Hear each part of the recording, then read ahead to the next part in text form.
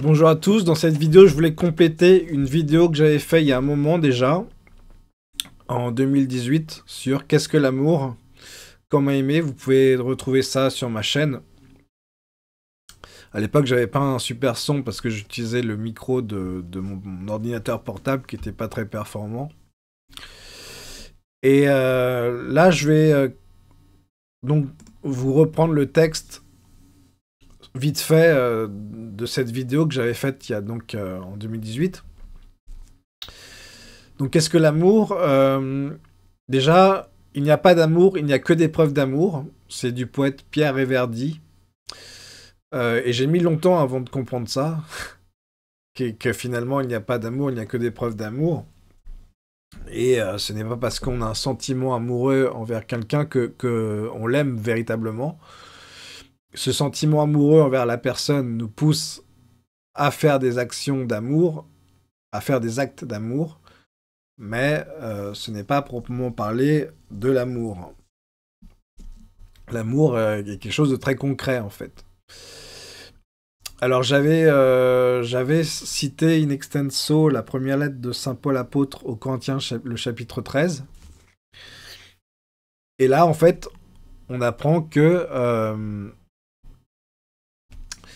en fait, sans la foi, sans l'intention euh, d'aimer, il n'y a pas de charité, en fait. Il faut, ça rejoint ce que dit Saint Jean de la Croix, euh, on sera plus euh, jugé sur la quantité d'amour de nos actes, sur nos intentions d'amour, que finalement sur la quantité euh, d'actes soi-disant charitables que l'on aura fait. C'est un peu l'histoire de la vieille du temple, avec ces, deux pièces, ces, deux, ces deux deniers qui, qui donne tout ce qu'elle a finalement et euh, qui, euh, qui a fait un bien plus sacrifice que le, le riche pharisien qui donne euh, peut-être mille fois plus, mais par habitude ou commodité. Donc voilà, l'amour est patient, l'amour en service, l'amour ne jalouse pas, il ne se vante pas, ne se gonfle pas d'orgueil, il ne fait rien d'inconvenant, il ne cherche pas son intérêt, il ne s'emporte pas, il n'entretient pas de rancune, il ne se réjouit pas de ce qui est injuste, il trouve sa joie dans la vérité, il supporte tout, il fait confiance en tout, il espère tout, il endure tout. Euh, le décalogue aussi est très important pour aimer les autres. Déjà pour aimer Dieu, parce qu'en en fait on aime euh, les autres à travers Dieu en réalité. Euh, nous avons besoin de la grâce de Dieu pour les aimer véritablement. Et aimer les autres sans Dieu, ce n'est pas les aimer véritablement en fait. Euh, encore une fois, il n'y a pas de charité sans la foi. C'est-à-dire que euh, si vous êtes en état de péché mortel, vous aurez beau faire tous les actes de charité, euh, si vous n'êtes pas en amitié avec Dieu, tout cela ne vaut absolument rien en fait. Et vous pouvez aller en enfer tout à fait pour toute l'éternité, même si vous avez donné toute votre fortune aux pauvres. Si vous, n'êtes pas ami de Dieu, vous, vous ne pourrez pas rentrer dans son ciel. Ça me paraît assez logique. Donc aimer les autres, voilà, c'est euh, les respecter, euh, éviter de, les insulter, de voilà, de les voler, de, leur mentir. Euh, après, il y a les œuvres de miséricorde corporelle et, les œuvres de miséricorde spirituelle. Donc là, c'est donner à, à, manger, donner à boire, à ceux qui en ont besoin, euh, vêtir ceux qui sont nus, abriter les étrangers, visiter les infirmes, visiter les prisonniers, ensevelir les morts, conseiller ceux qui en ont besoin, instruire les ignorants, exhorter les pécheurs, consoler les affligés, pardonner les offenses, supporter patiemment les personnes ennuyeuses, prier Dieu pour les vivants et pour les morts.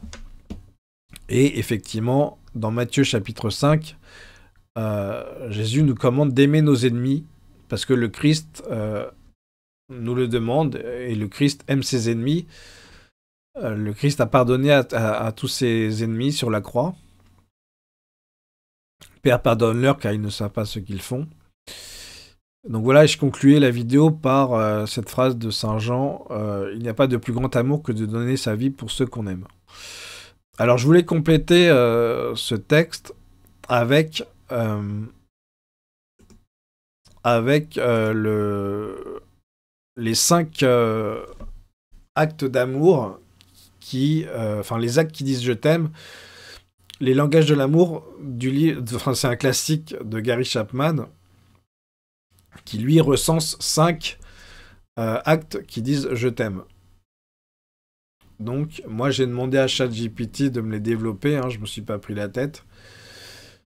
Ces cinq actes donc pour aimer, parce que encore une fois, il n'y a pas d'amour, il n'y a que des preuves d'amour. Donc euh, il y a les paroles valorisantes, les moments de qualité, les cadeaux, les services rendus et le toucher physique. Donc si on développe un peu, merci ChatGPT, il est tout à fait dans son rôle pour ce genre de choses. Hein. Il m'a fait gagner euh, un peu de temps. Donc les paroles valorisantes, ce langage consiste à exprimer son amour à travers des mots encourageants, des compliments, des expressions d'affection et de soutien, les paroles gentilles et positives renforcent la relation. Ensuite, les moments de qualité. Pour certaines personnes, passer du temps de qualité ensemble est essentiel. Cela signifie se concentrer pleinement sur l'autre sans distraction et créer des souvenirs précieux. Les conversations significatives et l'attention sont cruciales. Ensuite, les cadeaux. Ce langage implique l'échange de cadeaux symboliques. Il ne s'agit pas nécessairement de biens coûteux, mais de gestes qui montrent que l'on pense à l'autre. Les cadeaux expriment l'amour et l'appréciation. Ensuite, les services rendus. Certaines personnes expriment leur amour en rendant service à leur partenaire. Cela peut inclure des actes tels que cuisiner un repas spécial, faire les courses ou aider dans la vie quotidienne. Les actions parlent plus fort que les mots. Et enfin, le toucher physique. Le contact physique, comme les câlins, les baisers et les gestes tendres, est le moyen d'exprimer l'amour. Pour ceux qui ont ce langage, le toucher crée une connexion émotionnelle. Voilà. Que Dieu vous bénisse. Aimez bien. Et que Dieu vous bénisse. Et à bientôt pour la prochaine vidéo.